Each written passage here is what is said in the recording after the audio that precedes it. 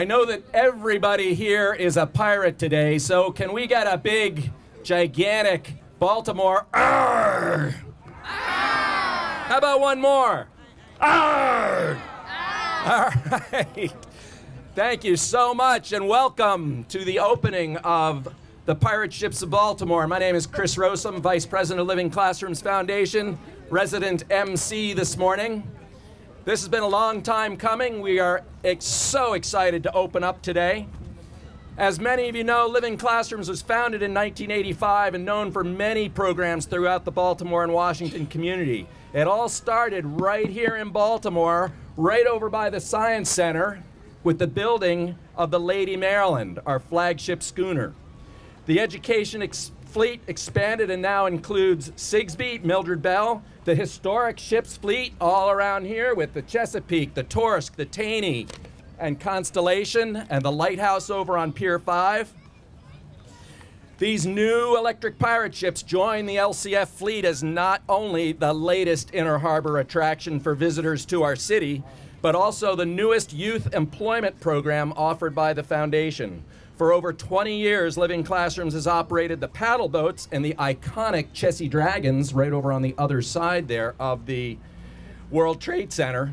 And the new pirate ships will enable us to expand that employment opportunity to even more Baltimore kids. The new boats hold up to six people. They were developed over a two year research and development period with the help of Mr. Jim Shea and Premier Rides. Woohoo! Premier Rides is a global attraction development company based right here in Baltimore. And also, we worked with a company called Consolidated Yacht, a boat building firm based down in Cambridge, to actually build the boats. The boats will be available for visitors from mid March through the fall, weather permitting, of course. Although, wouldn't it be fun to be out at sea during a storm in one of these boats? No! no. and they're great fun for not for not only families but also for groups. They're a really really cool way to see the harbor by water. We are extremely excited to add the pirate ships of Baltimore to the Living Classrooms fleet.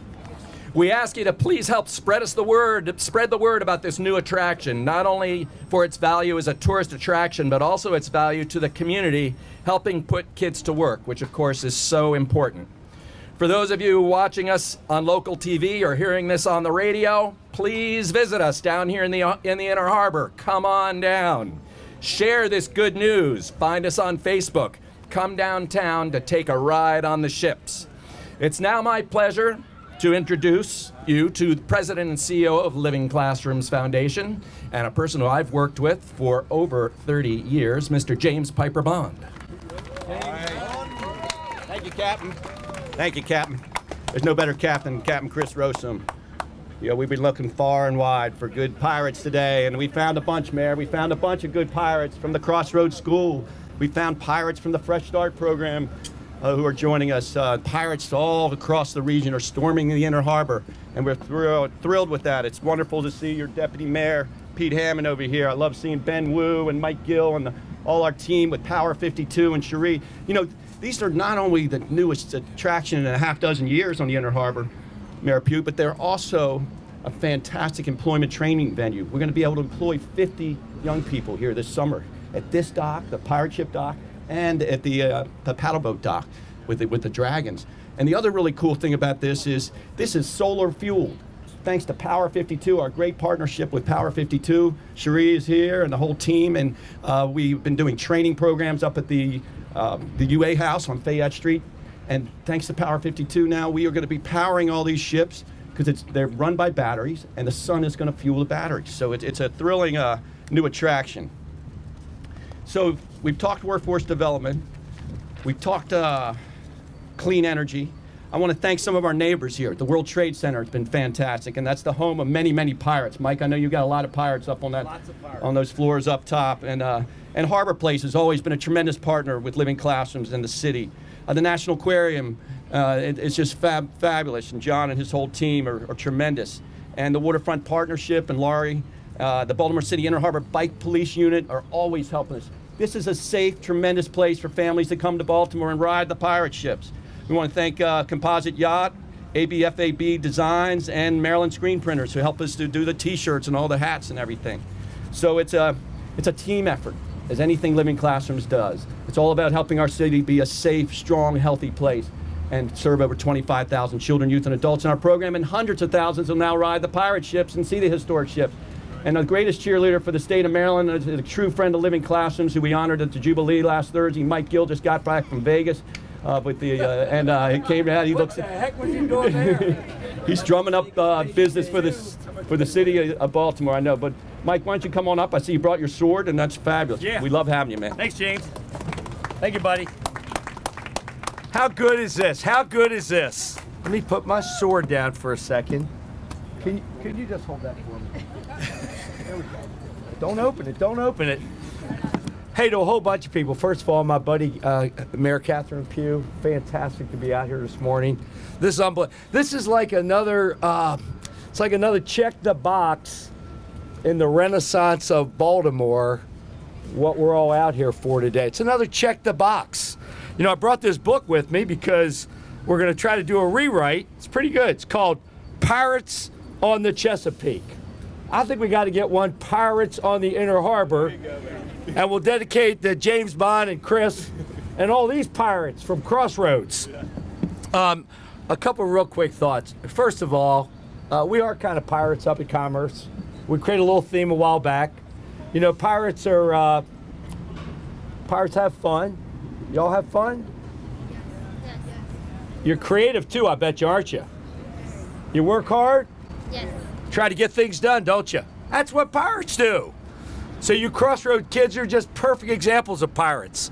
Um, when I do think about living classrooms, I've said to James, there's three or four organizations in Baltimore. I'll put living classrooms up here that if we had enough money, I would just push my chips to the. I didn't mean that because I was in Las Vegas recently, because I'm not a gambler.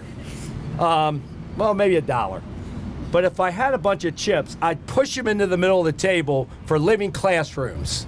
Because when I think about their mission, and uh, number one, I love the expression potential, helping the kids to reach their potential. That to me is everything.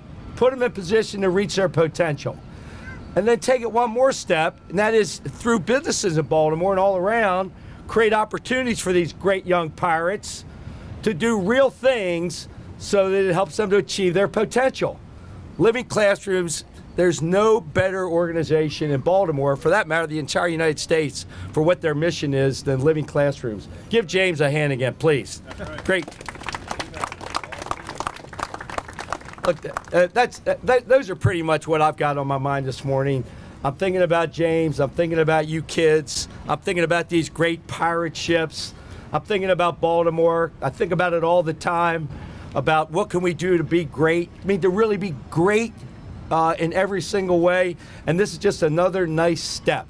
So over the next uh, years ahead, James, hundreds of thousands of Marylanders and folks from outside of Maryland are going to walk the plank jump on one of the ships and have a beautiful ride around the inner harbor. So, uh, great day for living classrooms in Baltimore. Thank you.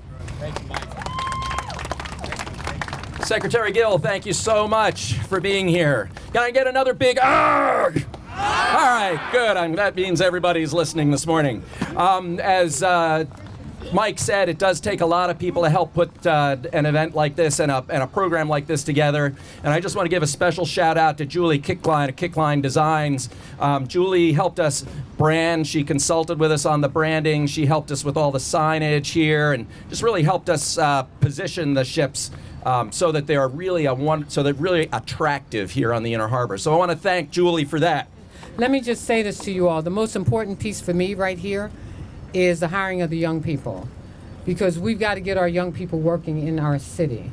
As you well know, one of my greatest violence reduction initiative, part of that is making sure people work in our city.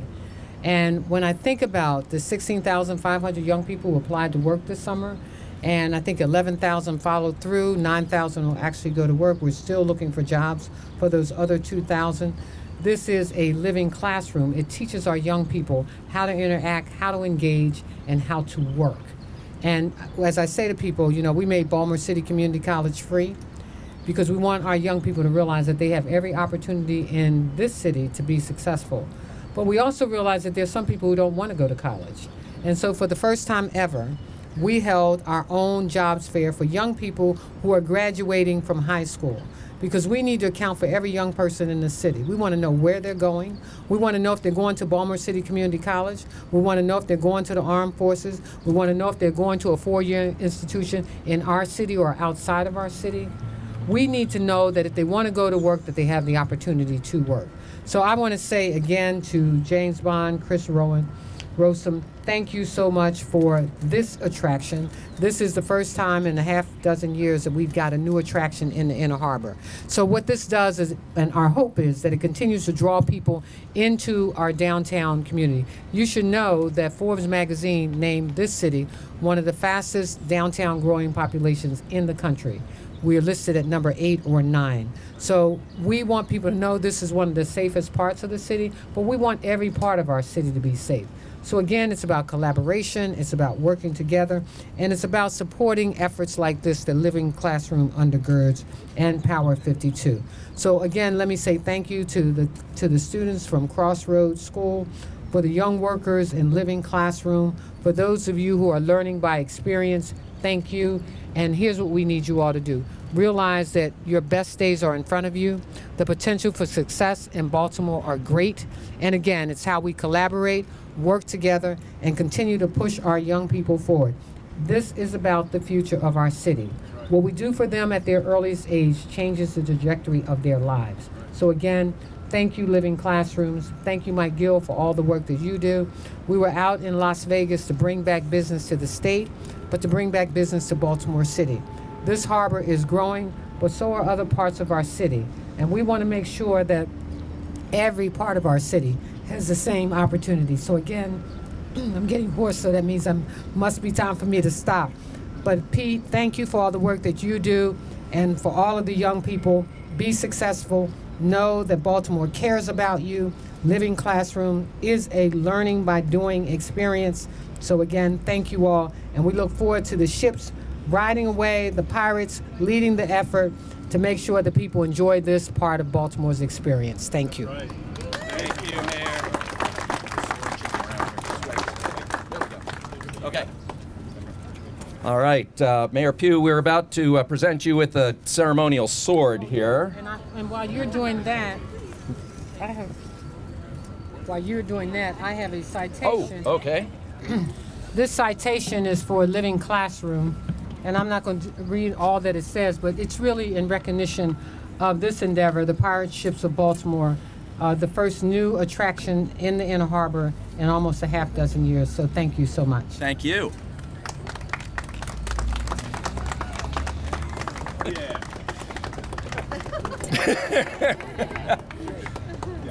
Five, four, three, two, one. Arg!